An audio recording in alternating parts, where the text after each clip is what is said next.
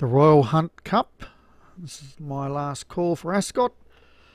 One mile, 0 to 110. And uh, following up from me will be Martin. But up the top we've got Thumbelina, the favourite honey spoon for David Robinson, looking for two. Zoltan Kimez, Enping Equus, Electric Boogaloo, Arrival, Troublelicious, Team, team Leader, Circus Plume, Stone Street, Ready Sign, Yvonne Elliman, Shake Me, Kingtown Phillips, Emma Deer, Dreamforth, Human Race, and Batavia for Merhazad Mystery. Racing. A little slow was Emma Deer and Ready Sign. And out early is Electric Boogaloo, but uh, jockey wants none of it. Enping Equus is going to be our early leader from Electric Boogaloo. Then we got Stone Street, ready sign after being flat footed, moves into third at the sixth furlong. Uh, then we've got uh, Kingtown Philip.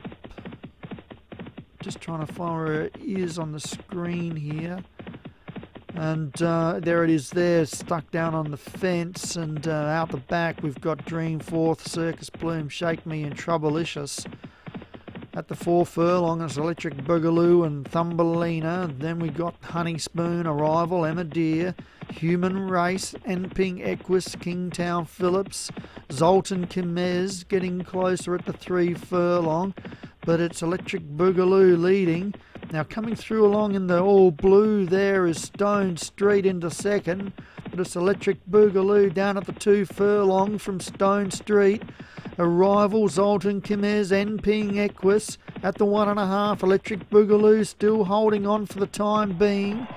From Stone Street, Arrival Zoltan Kimez Ping Equus. Nothing else can win at the half. Electric Boogaloo still in front from Arrival. And Electric Boogaloo gets there from Arrival. Stone Street third. Enping Equus fourth.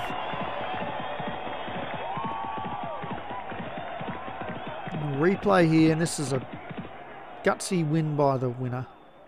Electric Boogaloo. And Hans picks up another winner for the day with Electric Boogaloo.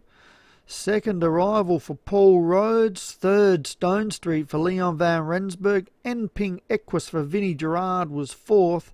And Zoltan Kamez for Darren Thompson.